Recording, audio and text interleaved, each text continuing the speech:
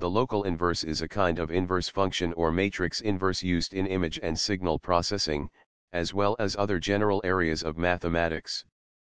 The concept of local inverse came from interior reconstruction of the CT image.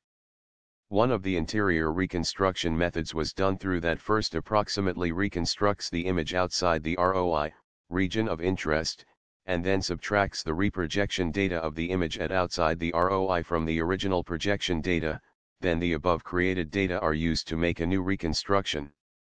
Instead of directly making an inverse, the unknowns at the outside of the local region can be first inverted.